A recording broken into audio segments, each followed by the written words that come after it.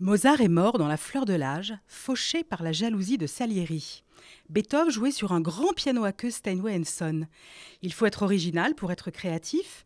Jean-Sébastien Bach est le plus grand génie de l'âge baroque. Il ne faut jamais applaudir pendant qu'on joue une œuvre. Beethoven était sourd, la musique contemporaine n'est que du bruit, les castrats remplacent les voix de femmes dans les scènes d'opéra, et Heindel a écrit très peu de musique originale, il a repris tout au long de sa vie ses thèmes d'une composition à l'autre. Voici un court florilège des poncifs erronés des contes et légendes de la musique classique qui se transmettent de grands-parents mélomanes en petits-fils musiciens. Et pourtant, la vérité est tout autre. Salieri son seul ami pour l'aider à finir un requiem laissé inachevé.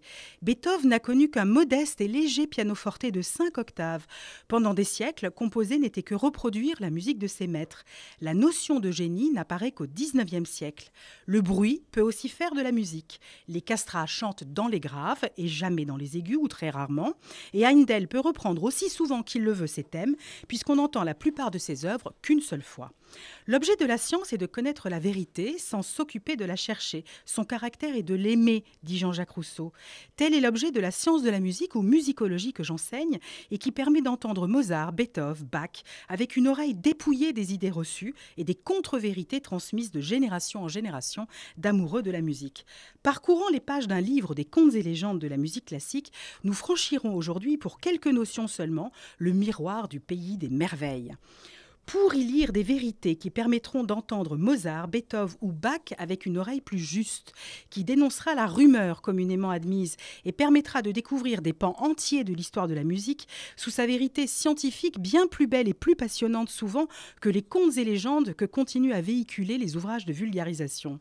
C'est ainsi qu'il ne faut plus écouter la marche turque de Mozart, troisième mouvement de la onzième sonate pour piano Köchel 331, composée vers 1780 comme une pièce sérieuse, car il ne ne s'agit en fait que d'un pastiche de la musique turque très en vogue à la fin du XVIIIe siècle.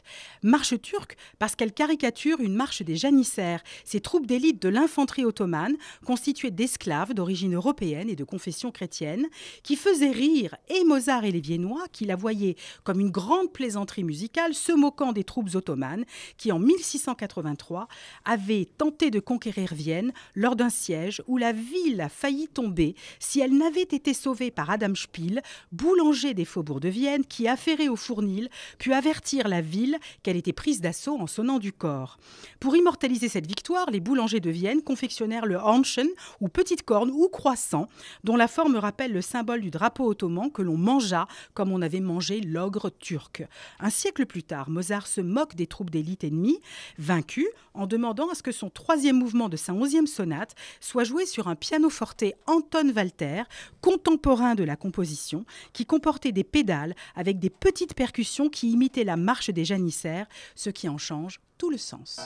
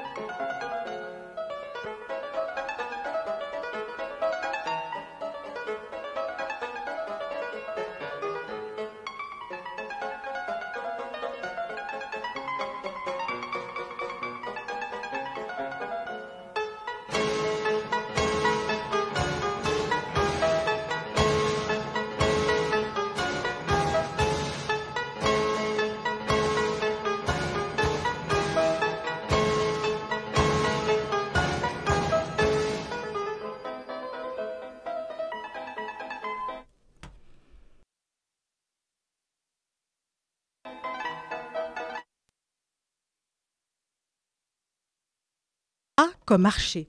Peu importe l'archer, le plus important est qu'il joue un Stradivarius. Certes, mais un tel instrument joué avec un archer moderne ne sonnera pas bien, pas en tous les cas comme l'entendait Stradivarius, qui pensait ces instruments pour être joués avec des archers correspondant à la facture extraordinaire de ces instruments.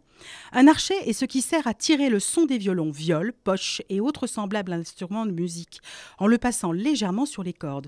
Il est composé de trois pièces, dont la première est le bâton et le brin qui soutient le crin.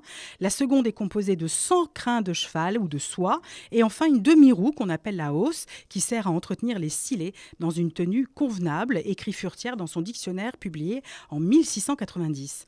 On ignore souvent que ce qui fait la qualité d'un violon, comme celui d'un jeu du violoniste ou du violoncelliste, doit essentiellement à l'archer, qui n'est pas le même pour un violon ou une viole de la fin de la Renaissance que celui exigé par Bach pour ses sonates et partitas pour violon seul. L'archer baroque, celui de Bach, de Corelli, de Bieber, est en forme d'arc et non pas plat comme aujourd'hui.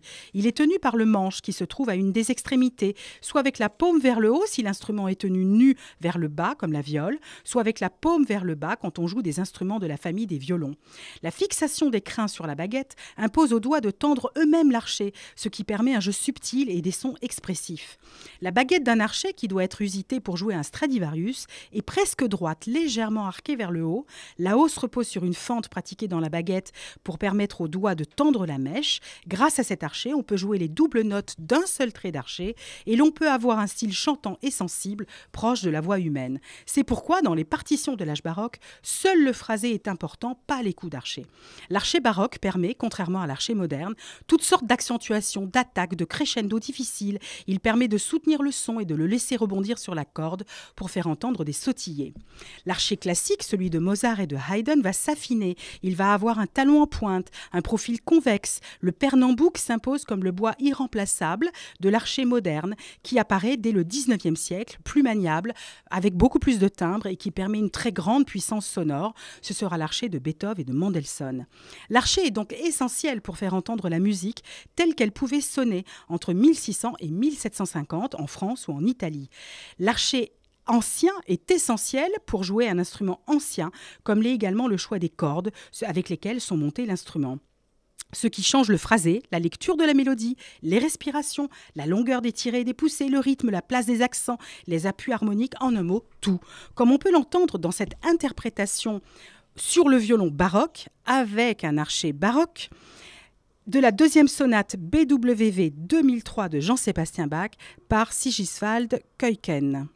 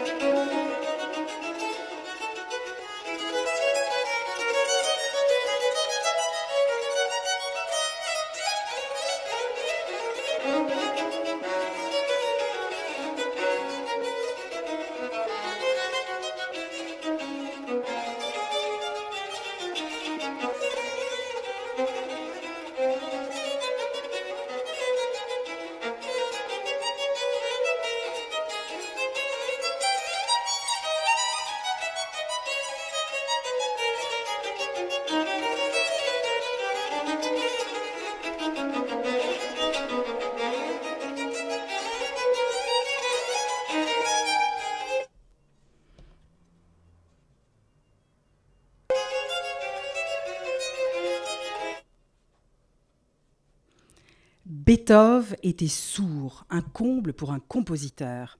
La surdité de Beethoven est principalement documentée par ses correspondances. Si l'originalité des troubles reste hypnotique, syphilis pour les uns, atteinte associée à une inflammation digestive chronique pour les autres, il est certain qu'ils ont commencé à se manifester vers 1798, alors que Beethoven n'a pas encore 30 ans. Voici ce que rapporte la légende beethovenienne. En 1805, le musicien rapporte des difficultés à entendre les instruments avant lors des concerts qu'il dirige. Gêné tout autant par la baisse de l'audition que par des acouphènes, Beethoven a recours à des cornets acoustiques à partir de 1814. Puis il s'emmure peu à peu dans le silence. Lors de la première représentation publique de sa 9e symphonie en 1824 à Vienne, il serait totalement sourd et ne ressentirait plus la musique que par les vibrations qu'elle provoque. Le musicologue Theodor Albrecht, s'appuyant sur les carnets de correspondance rédigée quotidiennement par le compositeur Beethoven démontre que celui-ci n'a perdu l'audition qu'à la toute fin de sa vie, estimant même qu'il a pu entendre tout ou partie de sa dernière symphonie, la célèbre neuvième qui s'achève sur l'hymne à la joie, en réalité l'ode à la liberté devenue l'hymne européen. Théodore Albrecht dispose en effet d'éléments significatifs qui démontrent que si le compositeur a souffert d'une sérieuse détérioration de ses capacités auditives, il ne les a pas perdues aussi complètement que ce que l'on prétend. Beethoven a commencé à perdre ses capacités auditives en 1798, ce qu'il a tenté d'atténuer en utilisant un cornet acoustique sans succès. À partir de 1818, il utilise un carnet sur lequel ses interlocuteurs peuvent écrire, tandis qu'il leur répond à haute voix. Ce sont ces éléments qui permettent aujourd'hui de dire que Beethoven n'avait pas du tout perdu l'audition. Dans ces carnets, on trouve en effet 23 références à l'audition du compositeur et plusieurs douzaines qui prouvent que Beethoven pouvait entendre quelque chose. Quand on parle doucement, j'entends à peine. Oui, mais j'entends les sons, jamais les mots. Et d'autre part, cela m'est intolérable dès qu'on crie. Certes, Beethoven n'entendait pas très bien les sons aigus et surtout était handicapé par des bourdonnements, des sifflements, souffrant donc plus d'acouphènes que de surdité, devenant ainsi peu à peu misanthrope. Mais ce mal, apparu très tôt, ne l'empêchera jamais de composer ni d'entendre sa musique et celle des autres, grâce à ce que les musiciens appellent l'audition intérieure celle qui permet de mémoriser des milliers de sons, qui associe la vue à l'ouïe, qui entend les sons notés sur la partition dans la tête, celle qui entend avec le corps tout entier. Avec l'audition intérieure que tout musicien pratique et que l'on acquiert avec des années de travail sur l'instrument, on peut chanter intérieurement sa musique, on peut comprendre le moindre élément du langage musical, on entend toutes les lignes mélodiques d'une pièce polyphonique, on peut anticiper mentalement les sons qui suivent, ceux que l'on vient de lire. Audition interne qui permet à tout compositeur la musique, d'entendre la musique, même quand, comme Beethoven, l'audition est brouillée par de nombreux acouphènes. Donc Beethoven est donc victime d'acouphènes ou sourd partiellement vers la fin de sa vie, mais cela ne l'a jamais empêché d'entendre ce qu'il composait. Il pouvait d'ailleurs entendre de mémoire, par la mémoire des sons, ce qu'il avait composé sur le piano forte. C'est ce qu'il fit pour entendre sa sonate numéro 14 opus 27 numéro 2 dite Claire de Lune, écrite en 1801 et publiée en 1802, l'année où Beethoven dut se faire à l'idée que ses problèmes d'audition ne cesseraient plus. La sonate dite Claire de Lune est composée entre la première et la deuxième symphonie. Elle est écrite pour un piano ancien, piano Walter, construit à Vienne vers 1800, accordé au diapason de Vienne 1815, soit 415 Hz. Un piano qui n'a que 48 touches, 88 pour un piano moderne, 6 octaves, 8 pour un piano moderne, et 3 pédales à genouillère permettant de déplacer latéralement les marteaux pour jouer une corde au choix ou plusieurs, ensemble pour changer le timbre sonore, puisqu'on y avait placé trois cordes par touche. Le troisième mouvement que nous allons entendre maintenant est un presto agitato de 200 mesures, où Beethoven expérimente de placer le mouvement le plus exigeant et le plus physique à la fin de sa sonate pour que les trois mouvements de cette œuvre fassent un tout et tendent vers les dernières mesures. Beethoven. Y fait entendre des arpèges, des sforzando, des octaves, des basses d'Alberti, des octaves brisées qui donnent une impression de puissance à un instrument aux nuances fines, à la puissance moyenne, mais qui ici sur un instrument ancien semble parfaitement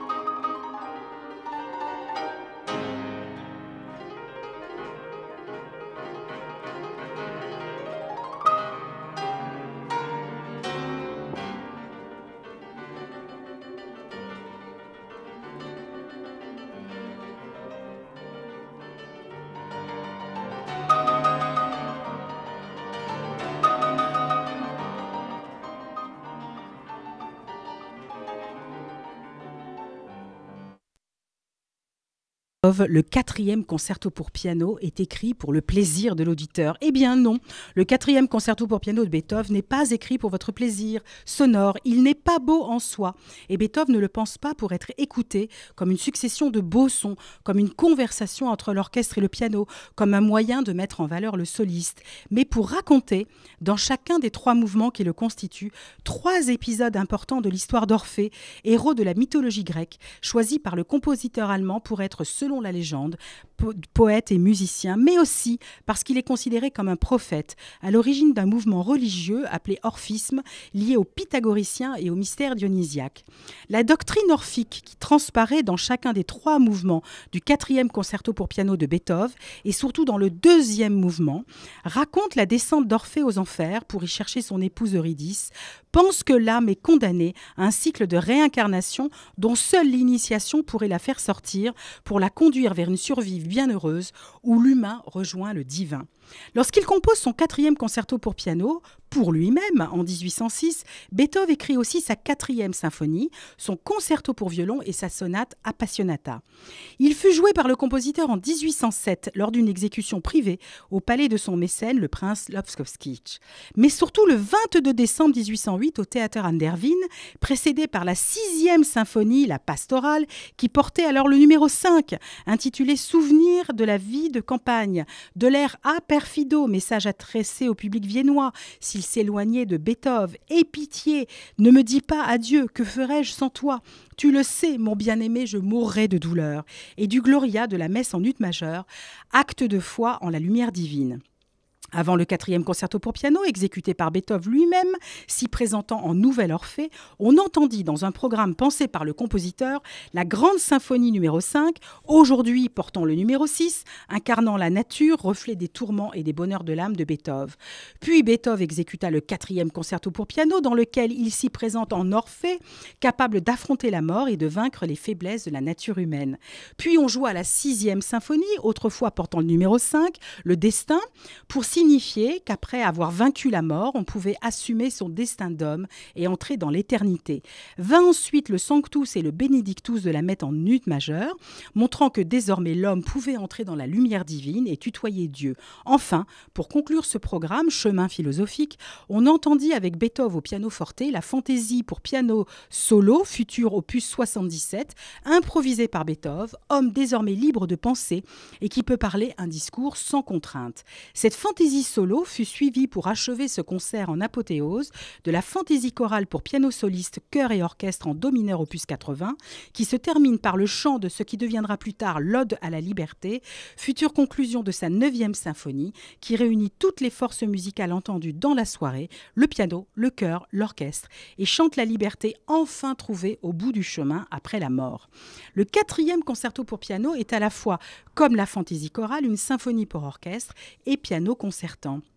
Le premier mouvement décrit Orphée, capable de civiliser le monde sauvage par son chant, message philosophique qui montre que la musique est civilisatrice. Il commence par Orphée accordant sa lyre au piano forte, puis chantant pour émouvoir les pierres et faire pleurer les arbres. Le troisième mouvement raconte la lutte d'Orphée contre les bacchantes, l'orchestre, qui doivent chanter plus fort qu'Orphée le piano pour pouvoir l'anéantir. Quant au deuxième mouvement, il raconte la descente d'Orphée aux enfers, qui doit convaincre les furies gardiennes des lieux de le laisser entrer lui qui n'était qu'un simple mortel. Il s'agit pour Beethoven de montrer que lui, le nouvel Orphée, présenté dans le premier mouvement, a pu vaincre la mort en entrant aux enfers d'où il a pu ressortir.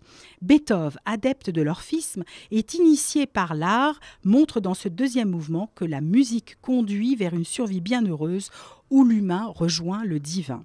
D'ailleurs, au même moment, en 1804, Beethoven commande au peintre Joseph Wilborn Malheur un portrait de lui en Orphée, dans une belle nature où les feuilles d'automne tombent et se fanent, métaphore de la perte d'audition du compositeur.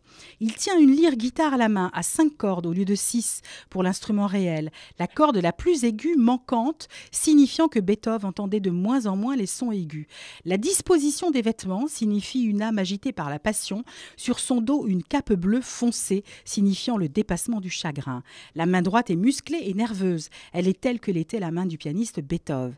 Il tourne le dos à l'obscurité, à la tourmente, à l'arbre à moitié mort qui domine la zone à sa gauche. Il avance vers le champ ensoleillé et le temple d'Apollon à sa droite.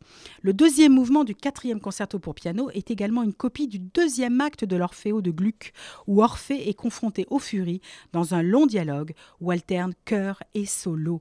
Peu à peu attendri par le chant du musicien, le piano, les furies, l'orchestre, lui ouvrent le passage de l'enfer et fondent le mythe de Beethoven, icône de la liberté et prophète d'une musique romantique qui philosophe.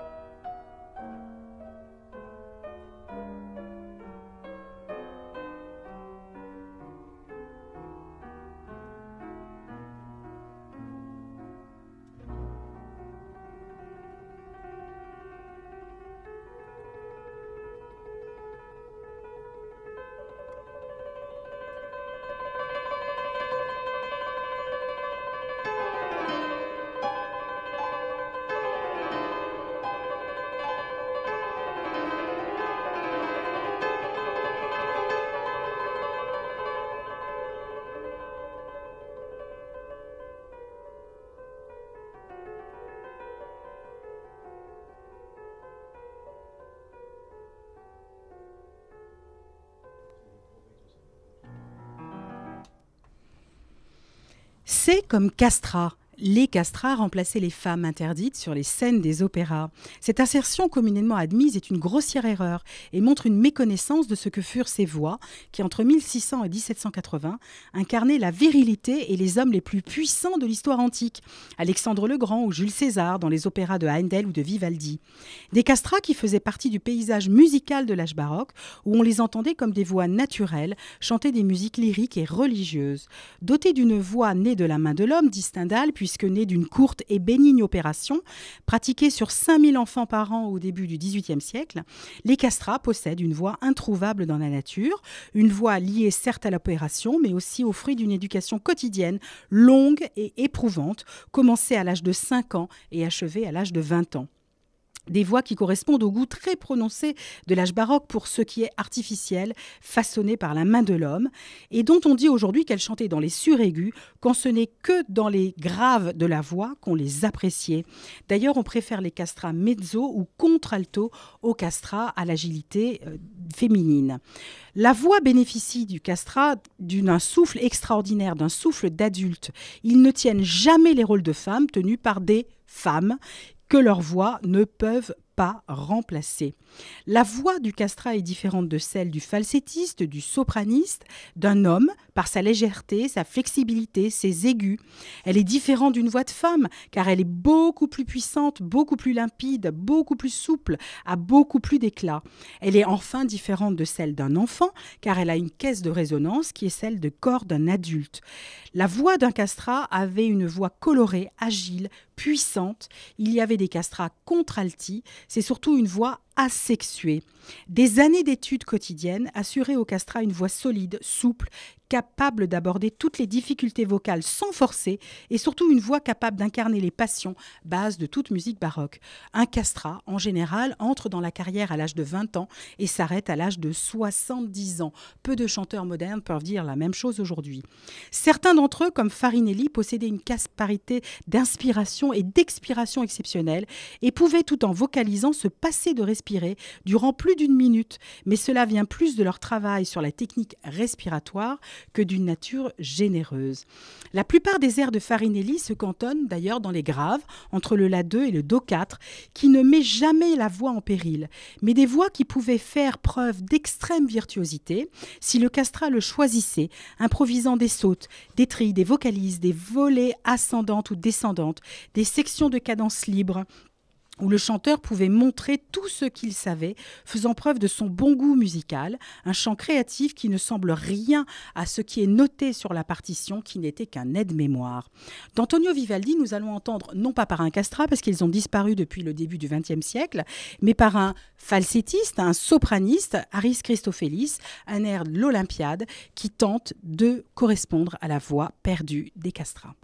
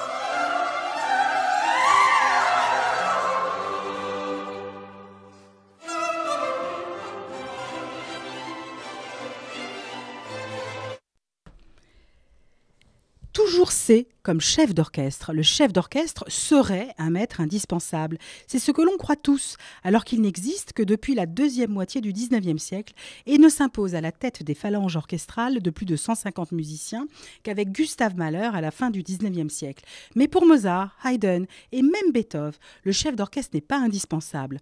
Mozart dirige depuis le premier violon, Joseph Haydn dirige depuis son clavecin et Beethoven dirige ses concertos depuis son piano en regardant son orchestre. Hector Berlioz devra même imposer ce musicien qui ne joue pas d'instrument autre qu'un grand groupe d'instruments en 1855 en rédigeant le court ouvrage défendant intitulé Le chef d'orchestre. De véritables orchestres sont apparus au XVIe siècle lorsque les compositeurs commencèrent à écrire de la musique pour des groupes d'instruments. Mais ils ne sont pas dirigés, on joue en se regardant, on part comme on le doit et on termine en suivant du regard l'un des musiciens désignés pour cela. Pour le XVIIe siècle, comme pour le siècle de Mozart, le chef d'orchestre n'existe pas et l'on dirige les phalanges les plus importantes depuis le premier violon, comme le rapporte Mozart donnant à Paris sa symphonie parisienne. Je résolus de m'y rendre au concert avec la ferme intention, si c'était toujours aussi mauvais qu'à la répétition, d'aller à l'orchestre, de prendre le violon des mains du premier violon et de jouer moi-même en dirigeant tradition encore respectée aujourd'hui, par le fait que le chef d'orchestre fasse saluer le premier violon au moment des applaudissements, lequel est de fait un second chef d'orchestre, qui fait d'ailleurs accorder l'ensemble de l'orchestre avant que celui-ci, qui est devenu un maestro, ne fasse son entrée triomphale. C'est ce que apporte Dieterdorf en 1751. Une répétition avait toujours lieu avant le concert, afin d'assurer une exécution parfaite, particulièrement des nouvelles œuvres. À ces occasions-là, Gluck apparaissait à la tête de l'orchestre, violon en main. On dirige donc de la basse continue, de l'orgue, du clavecin, de la guitare, du théorbe et du violon. Car le chef d'orchestre ne sert à rien avant 1880. Aujourd'hui, il prend en charge la cohérence de l'ensemble de la des musiciens, notamment en leur donnant une impulsion commune. Il règle l'équilibre des diverses masses sonores de l'orchestre. Il indique quand les musiciens doivent faire leur entrée et les nuances qu'ils doivent jouer. Il choisit comment interpréter les œuvres au programme, qu'il a souvent choisi d'ailleurs il est surtout utile lors des répétitions et inutile en principe lors du concert. Au milieu du 19e siècle, pour ne pas être incorrect au public, le chef d'orchestre se place de profil ou face au public et dirige donc son orchestre en dirigeant le public. Weber est le premier à diriger un orchestre à la baguette en 1812. Baguette qui provoquera des longues grèves des musiciens à Londres qui refusent d'être dirigés comme des animaux à la baguette. Dans son traité du chef d'orchestre paru en 1855, Berlioz affirme que son orchestre pliera peu à peu sous mon sceptre de fer et qu'il faut se débarrasser de ceux qui ne savent pas jouer de leur instrument. Mais il met également en garde tout chef d'orchestre qui aurait, comme c'est le cas aujourd'hui très souvent, des velléités de s'éloigner de la partition pensée par le compositeur. Le sentiment individuel du chef d'orchestre sera le moteur unique, et c'est du sentiment de l'auteur et non du sien qu'il s'agit. Ernest Ansermet, grand chef d'orchestre s'il en fut, fut remis à sa place de chef respectueux de la partition par une dame de Londres qui le complimenta en des termes choisis. Votre petite danse tout à l'heure était délicieuse. C'est vraiment merveilleux comme vous attrapez juste le rythme de l'orchestre. Avec le chef d'orchestre naissent les partitions d'orchestre que seul le chef peut suivre quand Mozart ou Haydn ne connaissent que leur partition présentant les parties séparées, c'est-à-dire une partition pour les violons 1, une pour les flûtes, etc., etc. Nous allons entendre le premier chef d'orchestre de l'histoire de la musique, Hector Berlioz, dans la symphonie fantastique, la marche au supplice, le quatrième mouvement. Attention, surprise, joué sur instrument ancien.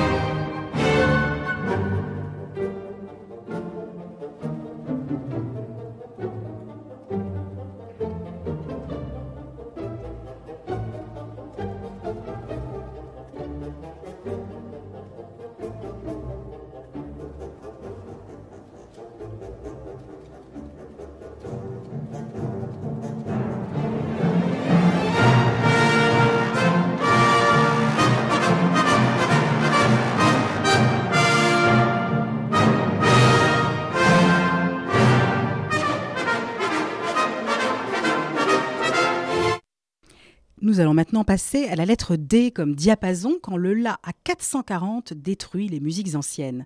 Cet outil, inventé par le trompettiste et luthiste Johann Schor en 1711, produit un son fixe qui donne le La, note de référence, sur lequel le ou les instruments s'accordent. Aujourd'hui, le La est à 440, soit 440 Hz, norme fixée en 1953 par la Conférence de Londres, voire 460 Hz pour les orchestres américains, ce qui signifie que les cordes des violons, par exemple, sont très tendues, donnant ainsi aux orchestres accordés si aigus une puissance, une brillance qu'il n'aura jamais en étant accordé plus bas et donc en sonnant dans les graves. Mais l'inconvénient de cet accord aigu, qui suit les habitudes de nos oreilles modernes, qui entendent de moins en moins les fréquences graves, c'est que les instruments accordés ainsi souffrent beaucoup de cette tension permanente et que les chanteurs sont obligés de chanter dans les aigus qu'ils doivent pousser tout le temps au risque de se fracasser la voix et de ne plus être capables de faire la moindre nuance. En 1859, le La en France est à 435, ce qui est la norme imposée, adoptée en 1885 par la Conférence de Vienne. Pour les musiques anciennes, il est impossible, au risque de ne pas faire sonner les instruments ou de les faire exploser sous la pression des cordes, de jouer au diapason 440.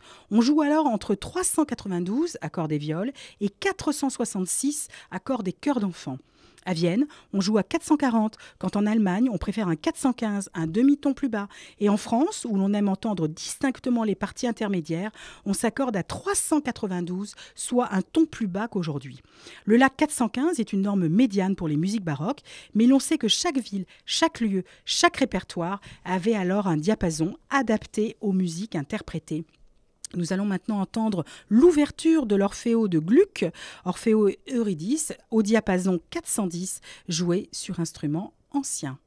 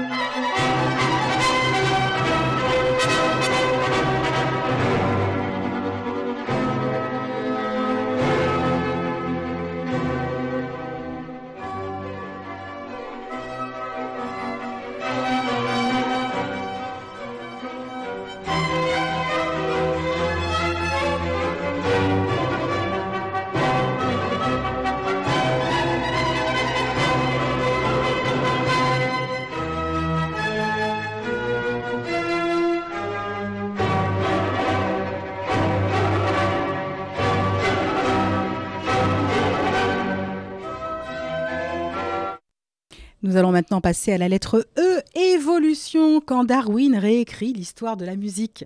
Le concept darwinien d'évolution, qui pense que les espèces se modifient graduellement, passe à la fin du 19e siècle et au début du 20e siècle de la biologie aux arts et à la manière d'écrire la musique. On se proposa même de faire l'analogie entre la sélection naturelle et les œuvres qui resteraient, si elles sont de qualité ou pas, dans une histoire de la musique qui se construirait ainsi en ne retenant que les modèles idéaux de Beethoven ou de Chopin, quand on aurait oublié Jean-Sébastien Bach, dont d'ailleurs personne ne savait plus rien dans les années 1840, et que l'on ignorait jusqu'à l'existence de Vivaldi jusqu'en 1920, comme celle de Monteverdi disparue des dictionnaires de la musique, qui n'y réapparaît timidement que dans les années 1940. Et l'on croit, depuis la fin du XIXe siècle, que l'histoire de la connaissance humaine est une histoire du progrès. Les temps modernes se trouvent ainsi à une distance incalculable d'avance par rapport au temps ancien, et le progrès des sciences et des arts sera plus important et plus rapide dans le futur. Or, en musique, au moins jusqu'à Claudio Monteverdi, la notion de progrès n'existe pas. Et l'idéal pour un jeune compositeur comme Palestrina, l'un des plus grands maîtres de la Renaissance, est d'écrire comme le firent ses maîtres, comme le firent les maîtres des maîtres avant eux, sans innover, sans chercher à inventer quelques nouveautés du langage, et l'on ne jugeait pas hier comme étant rétrograde ni dépassé, mais comme étant le modèle. Bien au contraire, on ne rêvait que de copier ses maîtres et de transmettre au mieux leur langue préservée. Il n'y avait donc pas de volonté de distinguer la musique des anciens de celle des modernes, bien que vers 1320, Philippe de Vitry ait signé un traité tiré As Nova pour montrer combien certaines musiques du XIVe siècle, comme celle de Guillaume de Machaut, de Dan Stable, de Francesco Landini, étaient en rupture avec celle du Moyen Âge finissant. Mais si l'on distingue alors la musique des anciens de celle des modernes, on ne pense pas que celle des modernes est un progrès par rapport à celle du Moyen Âge. On pense qu'elle est juste différente, pas qu'elle évolue. Le modèle, la manière d'écrire du maître restera longtemps la filiation choisie par les musiciens qui n'auront de cesse d'ailleurs de revenir toujours aux mêmes idées adoptées par les siècles antérieurs. Ainsi, les règles du classicisme, équilibre entre les voix, rigueur de la construction, soumission aux règles, goût de la forme, expression contenue, déjà en vigueur dans les musiques de la Renaissance, se retrouvent rejetées à l'époque baroque et réhabilitées à l'époque de Mozart et de Joseph Haydn. Désolé, monsieur Darwin, il n'y a pas d'évolution en musique, et même la révolution musicale n'est pas une rupture, mais des retours sur des idées usitées deux siècles, ou deux esthétiques, ou deux goûts, bien plus tôt. Et nous allons entendre une musique de Lars Nova, 14e siècle, nous sommes au tout début du 14e siècle, c'est une œuvre de Francesco Landini.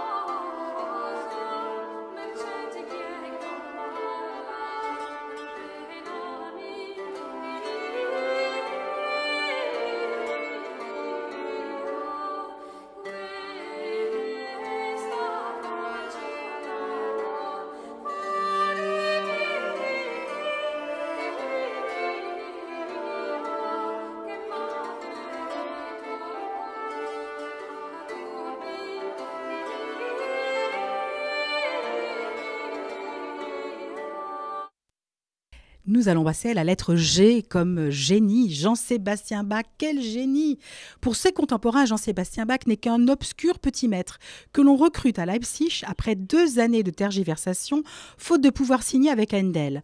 Bach sera très vite oublié après sa mort et ne sera élevé au rang de génie que par un mouvement romantique qui voit dans le peu d'œuvres que les contemporains de Brahms connaissaient de lui le modèle à suivre. Tout ceci nous engage à ouvrir une toute petite discussion sur la notion de génie et son apparition dans l'histoire de la musique. Jean-Sébastien Bach est un musicien de son temps qui écrit de la musique baroque, dont il sera le dernier représentant, ses fils écrivant déjà dans le style nouveau ou style classique. Il ne figurera jamais à, parmi l'avant-garde, contrairement à ses fils, et affirme même que le piano n'a aucun avenir. Il aborde tous les genres musicaux, cantates, messes, motets, suites de danse, toccata, préludes, fugues, répondant aux demandes de ses employeurs, sauf l'opéra, qu'on ne lui demandera jamais de composer. Il reste un excellent pédagogue, car cela faisait partie de son métier de cantor, qui forme nombre de compositeurs, et en particulier ses fils, et rédige des œuvres didactiques, comme le clavier bien tempéré, pour montrer à ses élèves qu'on peut écrire dans toutes les tonalités des préludes et des fugues, dans le nouveau système du tempérament égal, le clavier bien tempéré, qui n'est bien sûr pas destiné à être joué en concert, comme son offrande musicale ou son art de la fugue, pas plus destiné au concert. Peu connu de son vivant, Bach fait très peu imprimer sa musique, dix œuvres seulement. On peut mesurer sa notoriété à celle de Vivaldi, son aîné de 7 ans, qui, elle, s'étendait dans toute l'Europe, quand au-delà de Leipzig ou de Weimar, on ignorait absolument l'existence de Bach. On le juge comme un musicien savant, puisqu'il sait utiliser le système harmonique avec inventivité. Il est vite oublié après sa mort, et ce durant 50 ans qui font l'âge de la classique en musique. Passé de mode, la musique baroque et contrapuntique de Bach est oubliée au moment où s'impose donc la nouvelle musique galante, la musique Sturm und Drang, qui favorisait la mise en œuvre des sentiments exacerbés. Comme sa musique n'a pas été publiée, elle n'est pas facile d'accès et personne ne peut la lire. Il est ainsi oublié jusqu'au début du XIXe siècle. Pour l'Antiquité, et jusqu'à la fin du XVIIe siècle, le génie est une divine ardeur, une fureur démoniaque, une sublime folie, une inspiration surhumaine tout ce que n'était absolument pas Jean-Sébastien Bach, qui écrivait gentiment une cantate pour chaque dimanche. Au début du XVIIIe siècle, on associe le génie au sublime, tandis que l'abbé Dubos, en 1719, énonce la première tentative de physiologie du génie, soit celui qui possède une facilité naturelle pour apprendre et inventer, facilité que la crainte de mourir de faim ne peut donner. Si Jean-Sébastien Bach possède une grande facilité naturelle pour apprendre, a-t-il inventé quelque chose? Hélas, ce n'est pas le cas quand un Jean-Baptiste Lully invente la tragédie lyrique ou un Rameau une nouvelle conception harmonique. Jean-Sébastien Bach n'a absolument jamais innové. L'article paru en 1757 dans l'encyclopédie et attribué à Diderot établit une nette distinction entre l'homme génial et l'œuvre géniale qui nous invite à une analyse critique car l'homme de génie trouve des motivations d'un autre ordre que le reste des hommes. L'universalisation de la sensibilité, l'amplification de la mémoire et de l'imagination, l'exaspération de la vision engendrent chez le génie le désir de donner corps aux fantômes qui le hantent. Hélas, tout ce que ne sera jamais Jean-Sébastien Bach. On ne retrouve pas plus chez Bach ce désemparement de l'intelligence qui, pour reprendre l'expression freudienne, est l'effet spécifique du génie, ce désordre organique et cette tension émotionnelle qui accompagne.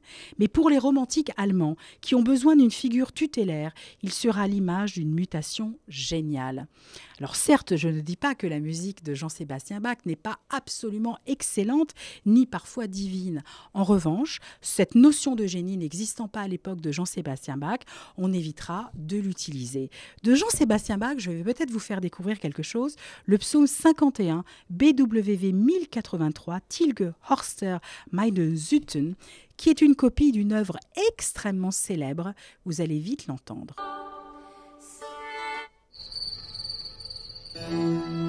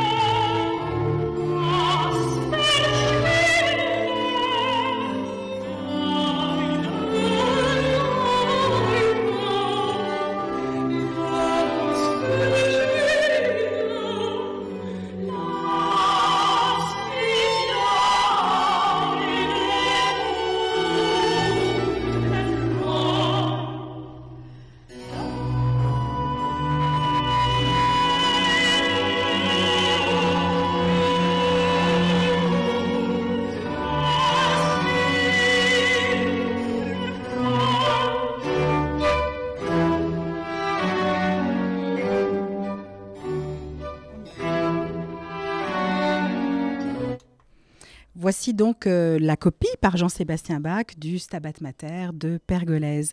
I comme interprété. Je vais la entendre à Fred X. J'aime comme il interprète Mozart. Réflexion souvent entendue de la part de mes amis mélomanes, à laquelle je réponds. Est-il nécessaire d'interpréter Mozart? Ne faut-il pas simplement le jouer en s'approchant le plus possible de l'esprit du musicien de son temps? Allez-vous écouter Alfred X, qui se sert de Mozart pour se faire valoir, ou Mozart servi par Alfred X? Car philosophiquement interprété, ce n'est pas parler de soi-même, mais d'une langue, d'une culture, d'une œuvre à laquelle on tente par le jeu de rendre vie. Mais est-ce une recomposition que je souhaite entendre, comme c'est souvent le cas quand par exemple j'entends jouer Mozart sur un piano moderne qu'il n'a jamais connu et qui est aussi différent de son piano qu'une deux chevaux laid d'une Ferrari dernier cri? Dans ce cas, je vais entendre Alfred X traduisant de manière personnelle la pensée, les intentions d'un auteur, choisissant le tempo, l'ornementation, le phrasé. Ou est-ce une restitution historique que je recherche qui tenterait de respecter au plus près le style de l'œuvre? L'interprète est en musique l'intermède indispensable, l'intermédiaire indispensable, contrairement à la littérature où nous n'avons pas besoin d'un lecteur pour découvrir un ouvrage entre le compositeur, son orchestre et le public. Car la musique, si elle existe sur le papier par l'intermédiaire de la partition, ne prend vie que par l'intermédiaire d'un instrument sur lequel on joue la composition. Et grâce au jeu de l'interprète qui le plus souvent, et c'est ce qu'on lui a enseigné, utilise ses propres codes musicaux pour jouer l'œuvre, se place dans une filiation de jeu instrumental et utilise toutes les mêmes techniques de jeu qu'on peut différencier le jeu d'un pianiste de celui d'un autre, ce qui fait que vous allez plus entendre Alfred X jouer du Mozart que Mozart joué par Alfred X, les critiques parues ensuite évoquant plus le jeu du pianiste que les musiques jouées dont il serait bien incapable de parler d'ailleurs. Ce geste musical de l'interprète le pousse à se croire, l'instant du concert, l'auteur de l'œuvre qui requiert sa collaboration. Il recompose dans le sens réel du terme. D'autres interprètes cherchent une attitude historisante ou historiquement informée, baroque pour les musiques dites anciennes, alors qu'on devrait l'appeler, comme en Italie, interprétation philologique, c'est-à-dire qui étudie les mots, les lettres, en les replaçant dans son contexte historique, littéraire, linguistique. Dans ce cas, l'interprète tente de retrouver les codes contemporains de l'œuvre en s'appuyant sur le retour au texte, au traité d'époque, sur les techniques de jeu. On joue Mozart sur les instruments anciens ou sur des copies de ces instruments anciens. On parle alors de restitution. L'interprétation d'une œuvre sur instrument ancien ou moderne et le choix de celui qui l'exécute Parfois ce terme doit être pris au sens propre d'ailleurs, et donc moins anodin qu'il nous semble quand nous choisissons un disque ou achetons un billet de concert. Et comme un homme ou une femme avertie en vaut deux, sachons, avant de nous faire plaisir, ce que nous avons choisi d'entendre. Voici Vivaldi, les quatre saisons, interprétées de manière historique, historisante.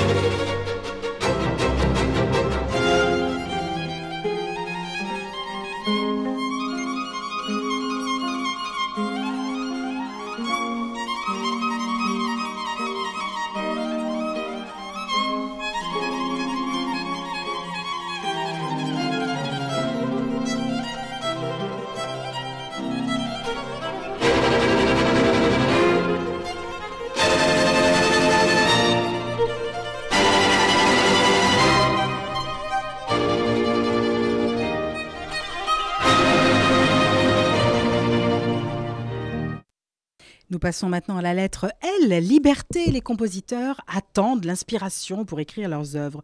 On a tous cette image en tête. Beethoven, les cheveux au vent, marchant sous la tempête dans une forêt à la porte de Vienne, suivi de son fidèle assistant Anton Schlinder, qui lui tend un carnet sur lequel il note inspiré le thème qui sera celui du quatrième mouvement de la sixième symphonie pastorale ou souvenir de la vie rustique, plutôt émotion exprimée que peinture descriptive quand la réalité est tout autre, puisque Beethoven esquisse sa symphonie des 1803 sur un carnet, où l'on trouve également une étude pour un murmure de ruisseau et le thème de l'orage déjà employé pour l'ouverture des créatures de Prométhée. Sur un autre manuscrit, on lit le brouillon d'un Gloria pour chœur qui aurait dû entrer dans le cinquième mouvement de la sixième symphonie. Tout cela montre que la sixième symphonie de Beethoven, il la pense comme une peinture ou un discours philosophique et n'est pas le fruit d'une inspiration subite, mais d'un long travail de réflexion qui prend parfois plus plusieurs années de maturation, de construction. Beethoven n'attend pas l'inspiration pour écrire ses œuvres, qu'il retravaille longuement. Il faut voir ses manuscrits complètement griffonnés et sur lesquels il revient parfois tout au long de sa vie, en témoignent les partitions. Beethoven travaille donc, comme tous les compositeurs, longuement ses œuvres, alors qu'il est, contrairement aux compositeurs qui l'ont précédé, libre de composer ce qu'il souhaite écrire. Car Beethoven est le premier compositeur de l'histoire de la musique à jouir de la liberté de pouvoir composer un concerto, une symphonie quand il le souhaite. Quand il naît à Bonn en décembre 1770, les compositeurs écrivaient encore leurs œuvres par la commande. Ils étaient au service d'une ville, d'un noble, et tel Joseph Haydn portait la livrée des serviteurs de la maison. En témoigne le contrat signé par Haydn quand il entre au service des princes Esterhazy, dont je vous lis un délicieux petit extrait. Chaque fois que son Altesse Sérénissime, le prince Esterhazy, l'ordonnera, le dit vice-maître de chapelle, Joseph Haydn, devra composer toute musique que pourra commander son Altesse.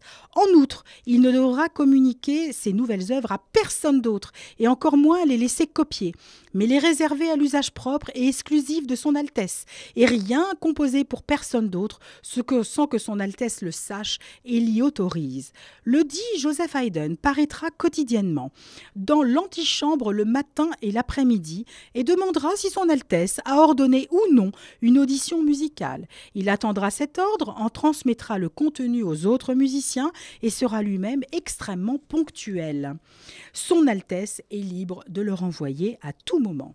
Joseph Haydn sera donc, et durant 30 années, au service du prince Nicolas Ier Esterhazy, qui lui interdit même de composer pour l'impératrice d'Autriche, qui lui avait commandé une messe.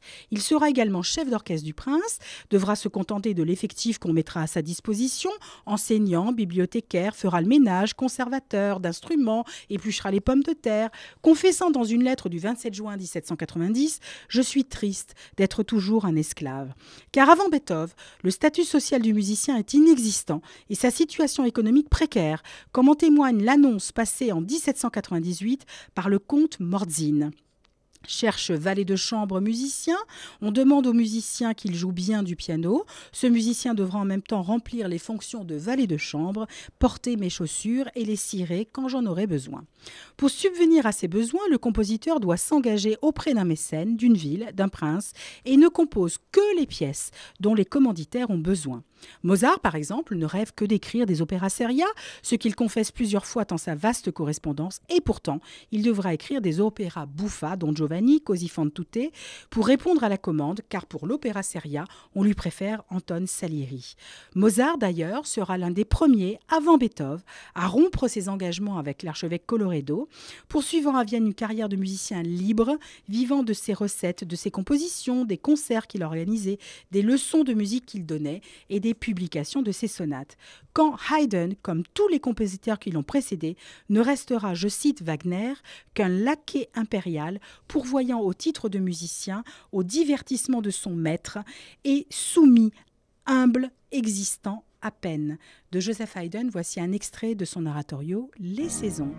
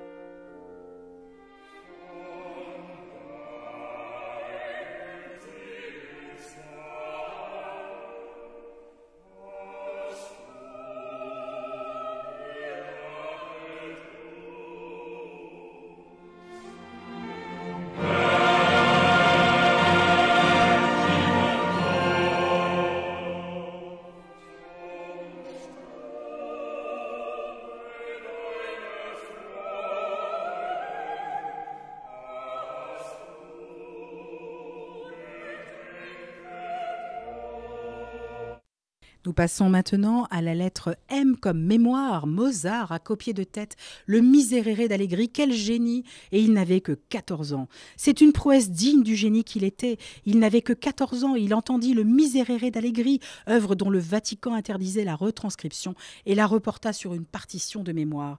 C'est fabuleux de penser que Mozart avait une telle mémoire musicale qu'il a pu entendre une seule fois lors d'un voyage à Rome le fameux Miserere d'Allegri et le recopier de mémoire. Allegri, mort en 1652, est un ténor de la chapelle pontificale et il écrit son Miserere qui plut tellement au pontife que pour en conserver l'exclusivité, le pape en défendit toute copie et toute exécution à l'extérieur de la chapelle papale. Le pape est le commanditaire d'Allegri dont les œuvres lui appartiennent. Le Miserere d'Allegri est une pièce complexe, polyphonique à plusieurs voix, pour deux chœurs de 4 à 5 voix a cappella, avec un certain nombre de lignes autonomes sur lesquelles les chanteurs improvisaient de nombreux ornements. Il n'est ni copié ni chanté en dehors de la chapelle Sixtine sous peine d'excommunication, ce qui était une exception en un temps où la musique circulait par les copies on expulsait toute personne surprise à prendre des notes pendant son exécution. Même on lavait les mains à la sortie de la chapelle Sixtine pour être sûr que les musiciens n'avaient pas pris en note quelques motifs. En 1770, Mozart, 14 ans, lors de son premier voyage européen, entend deux fois la chapelle Sixtine, le Miserere. De son retour dans sa chambre d'hôtel, Léopold Mozart, son père, excellent musicien et premier violon de l'orchestre de l'archevêque Coloredo à Salzbourg, aurait dit Quel dommage qu'une œuvre aussi belle ne puisse être jouée hors du Vatican.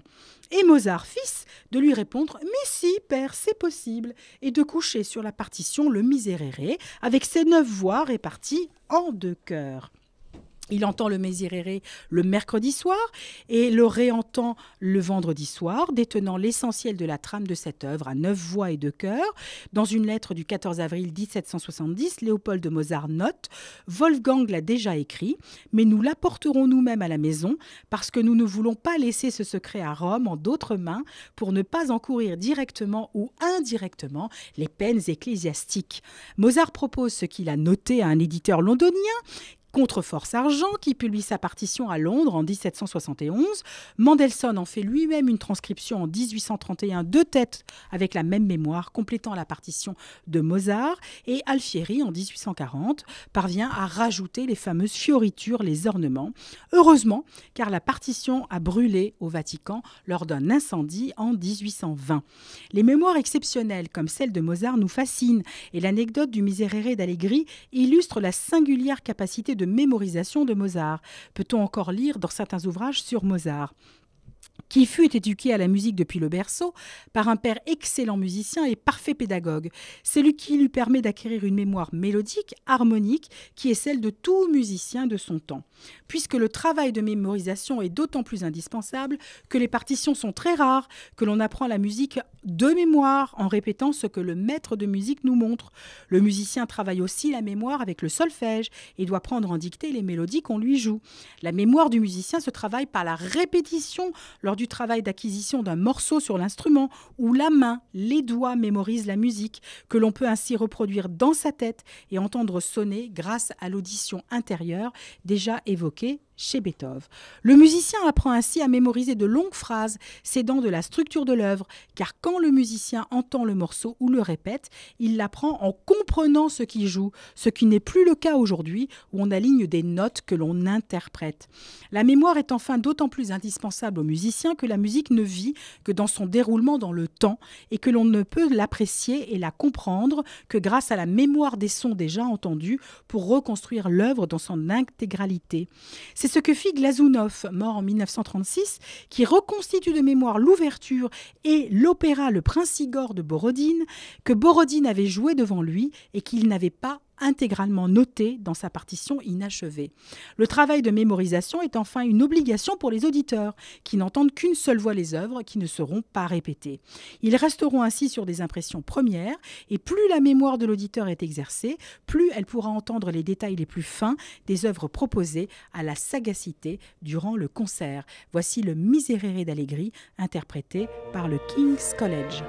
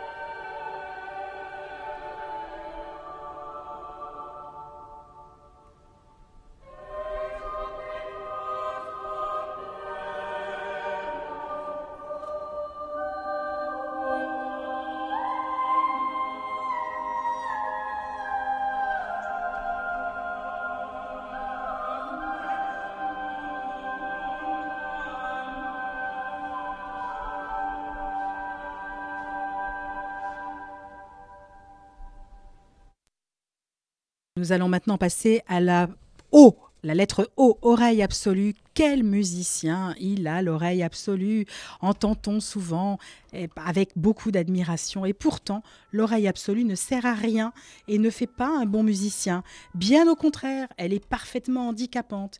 Et durant des siècles, cette remarque aurait semblé absurde, voire risible à Bach, Mozart ou Brahms. Avoir l'oreille absolue, c'est être capable d'associer n'importe quel son à une note, savoir identifier chaque auteur de son sans aucune note de repère qu'un La à 440, mémorisé par le détenteur de l'oreille absolue doté d'un super pouvoir. Avoir l'oreille absolue, c'est associer automatiquement un son à une hauteur de note mémorisée. Tandis que pour celui qui n'a pas ce super pouvoir, l'identification d'une hauteur du son demandera un travail de comparaison avec une première note donnée. L'oreille absolue s'acquiert par le travail association son-hauteur, comme nous avons appris à parler en association son et mots, ou à lire en associant son et lettres ou groupe de lettres. Mais avoir l'oreille absolue, c'est aussi avoir une audition passive qui ne demande aucun effort d'association. Elle ne permet pas de chanter juste, par exemple, et ne fera pas de celui qui la possède un meilleur musicien. Car la véritable oreille, en plus d'être active, a besoin d'être relative, soit identifier une note par rapport à une autre donnée dans un contexte harmonique et en se référant aux intervalles. C'est l'oreille relative qui permet aux musiciens d'orchestre de s'accorder aux autres, aux chanteurs de chanter dans un chœur et de pouvoir être soutenus par un accompagnement, jamais l'oreille absolue qui est parfaitement handicapante. Autre inconvénient, une oreille absolue ne peut pas supporter un instrument mal accordé, c'est-à-dire qu'il ne serait pas accordé selon ses critères et ne peut donc pas changer de diapason puisqu'il n'entend les sons que sur une fréquence unique. Ainsi, une musique baroque jouée avec des cordes en boyau, un accord particulier ou un diapason au La 415 lui paraîtra faux. C'est pourquoi le culte de l'oreille absolue n'est venu qu'avec l'extrême fin du 19e siècle, quand on a décidé de normaliser les diapasons et que les professeurs des conservatoires, en particulier en France, ont choisi de normaliser également notre perception des intervalles, perdant au passage toutes les subtilités, les douceurs, les étrangetés, les pointes expressives, les passages acidulés des musiques composées pour mettre justement en valeur ces petits détails qui changent tout. Avoir l'oreille absolue n'aurait donc pas pu être possible pour Palestrina, Monteverdi, Bach, Rameau, Mozart, Beethoven, Chopin. Ainsi, une oreille absolue prive d'apprécier les fines nuances de la fantaisie chromatique et fugue en ré mineur BWV 903 de Bach, écrite pour un clavecin accordé en tempérament inégal, c'est-à-dire où les demi-tons sont inégaux, contrairement au piano moderne, où ils sont tous égaux, ce qui standardise les sons comme une oreille absolue et gomme toutes les petites aspérités qui font le sel de cette musique et que cherchait à mettre en valeur Jean-Sébastien Bach.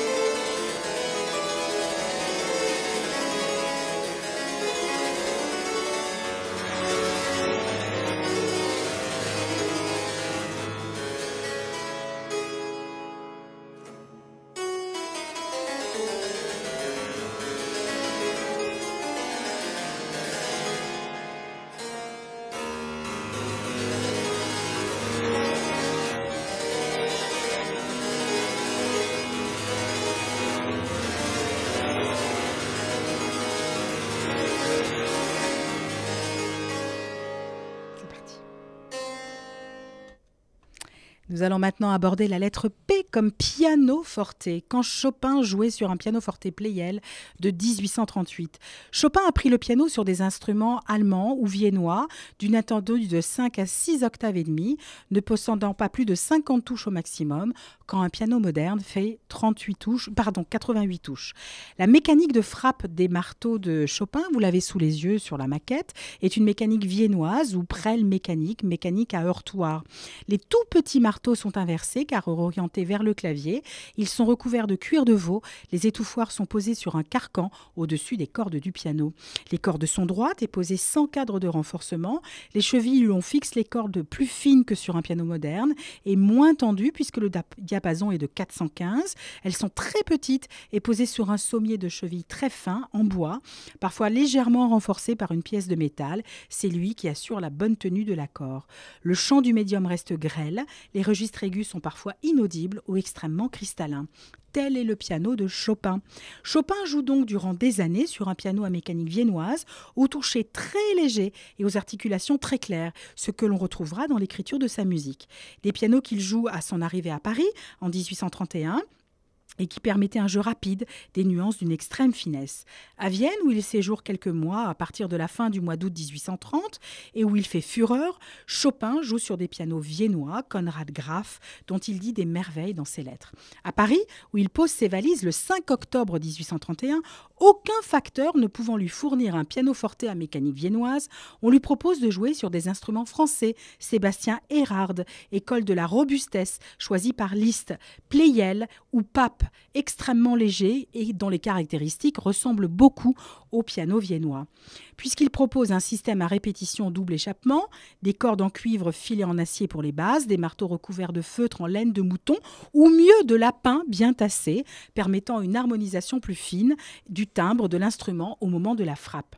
Chopin adopte alors, contrairement à Franz Liszt, les instruments Pleyel pour leur toucher, leur timbre qui se rapprochait des pianos viennois. Ils avaient une mécanique avec laquelle on pouvait ressortir différents timbres et différents registres comme sur les pianos viennois. Propose rapidement à Chopin un nouveau piano, au toucher souple, au double échappement et la sonorité riche, dont le jeu permet une ornementation vocale, un phrasé opératique, des nuances très fines, une articulation vocale des phrases et des tempi souffles. Tout cela encourage Chopin à adopter un style d'écriture qui met en valeur la ligne de chant cantabilée, les pédales ajoutées récemment permettant de soutenir les sons et de les prolonger et donneront une ligne mélodique vocale de grande ampleur.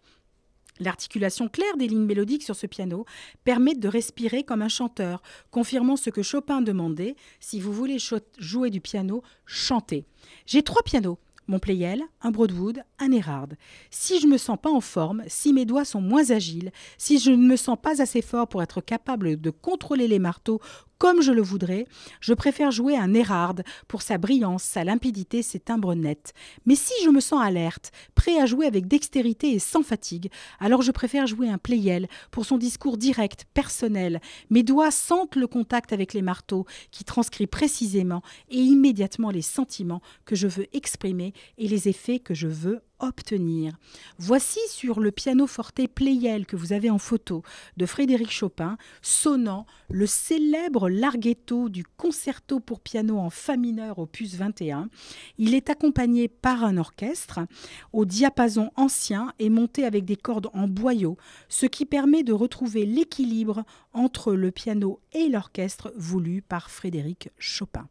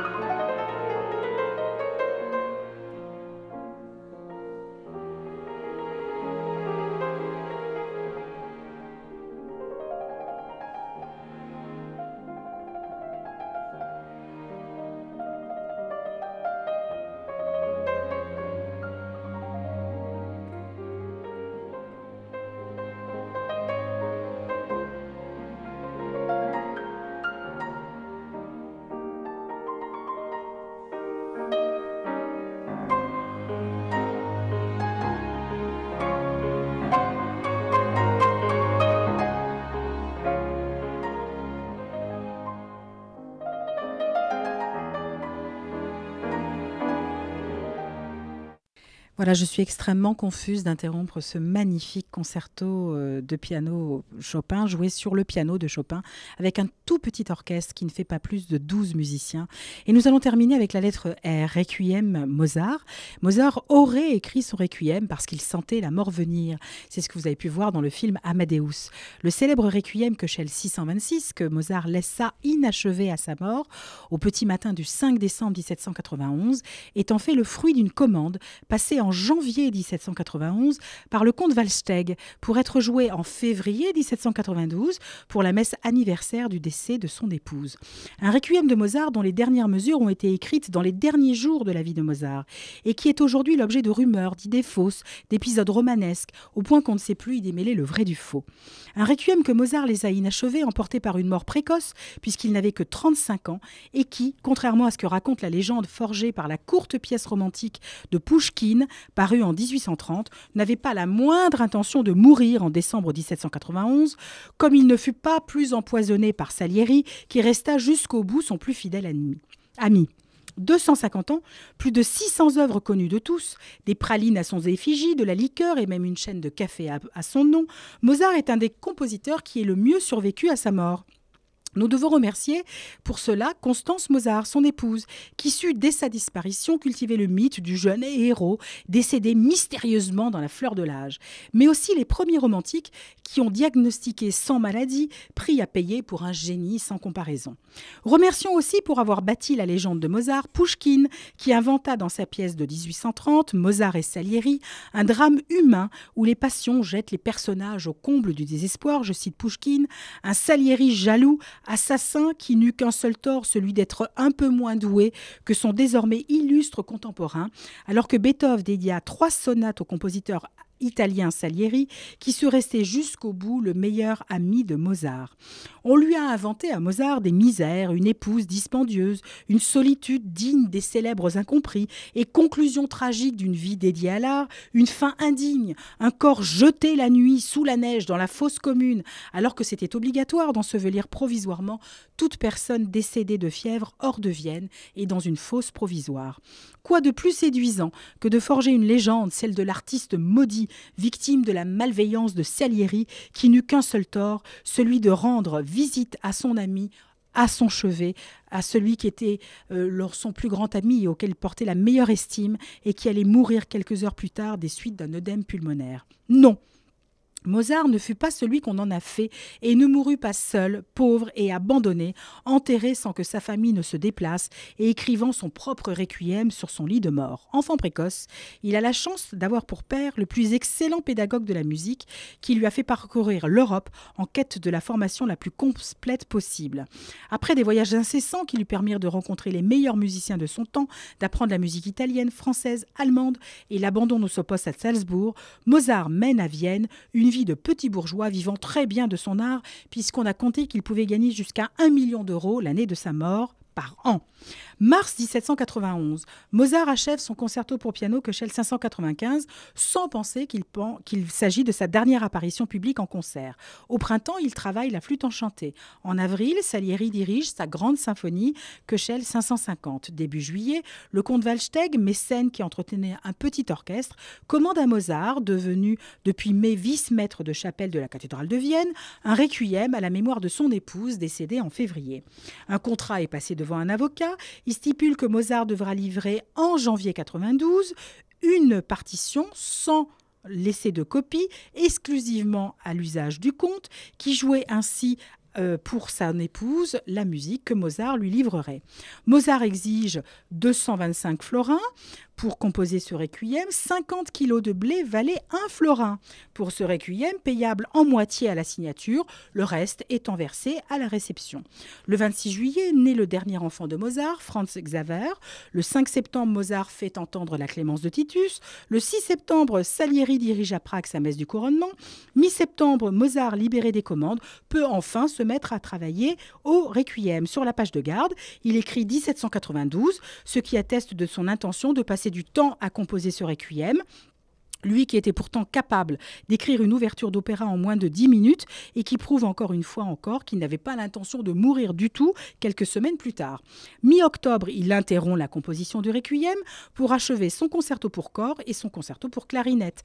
En novembre, il dirige une cantate. Le 19 novembre, il sort en ville, marche dans la neige avec des petites chaussures légères, tombe malade, salite et son corps se met à enfler. Il souffre du syndrome de Schleusstein-Henor, néfaste au Rhin.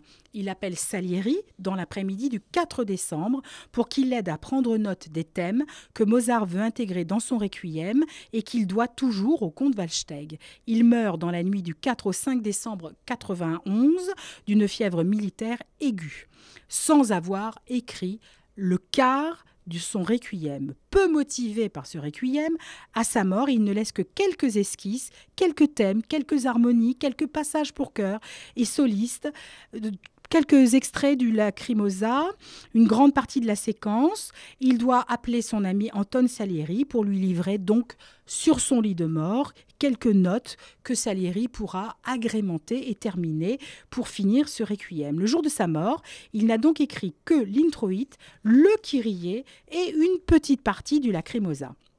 Mozart, une fois enterré, selon les règles en vigueur à Vienne, c'est-à-dire sans pierre tombale, son épouse Constance se retrouve dans une situation délicate, ayant dépensé la moitié de la somme déjà convenue pour le requiem. Elle a cruellement besoin des 113 florins qui lui sont encore dus. Le commanditaire n'ayant aucun moyen de savoir si le requiem avait été achevé avant la mort du compositeur, Constance confie d'abord à Joseph Heibler le soin de l'achever. Celui-ci écrit les parties orchestrales du Dies dont le thème avait été euh, noté par Salieri, une partie du Confutatis, mais s'arrête après le Lacrimosa. La partition est reprise par Sussmayer, puis par Stadler, puis par Freistadler.